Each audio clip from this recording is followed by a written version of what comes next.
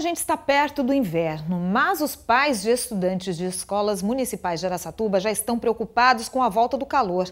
É um problema que nós já mostramos aqui no SBT Interior. Há quase um mês, o Ministério Público está nessa história, tanto que cobrou explicações da Prefeitura. O problema é que nada mudou até agora.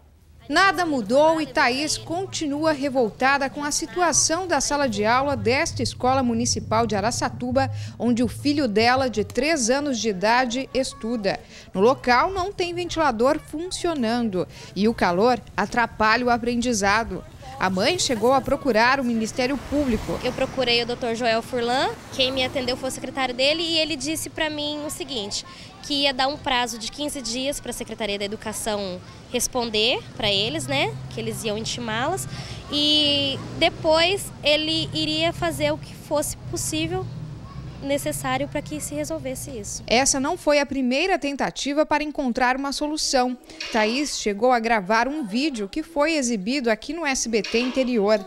As imagens mostram a situação no interior da sala de aula. A diretoria da instituição de ensino chegou a dizer que os ventiladores que aparecem no vídeo, feito pela mãe, não estão quebrados, mas que foram instalados e nunca funcionaram porque a rede elétrica da escola está sendo trocada. Ela informou ainda que no total existem quatro salas de aula e que em duas delas a prefeitura instalou ar-condicionado e em outra uma professora doou o aparelho que já está em funcionamento. Outra reclamação constante dos pais de alunos é sobre o teto do pátio, que é feito de metal e acaba aumentando ainda mais o calor. O que a gente queria mesmo era a troca do telhado, é porque é muito quente o refeitório. E tem salinhas que ainda falta ar-condicionado.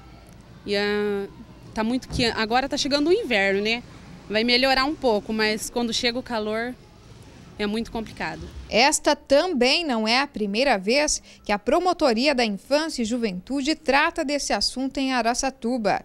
Uma ação chegou a ser ajuizada neste ano, pedindo a instalação de ar-condicionado nas escolas estaduais da cidade.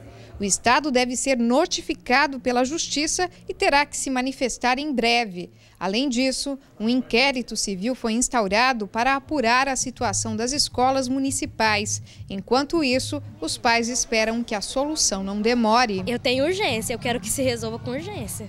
Porque já já o calor volta. Hoje está fresco, mas já já o calor volta.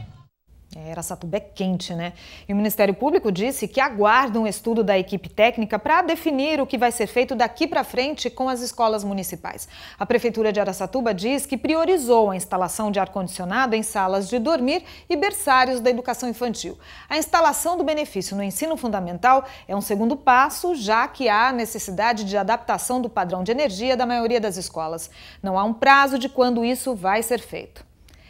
Em relação às a outra ação, a que fala sobre as escolas estaduais, a Secretaria Estadual da Educação não se manifestou sobre o assunto até o fechamento dessa edição.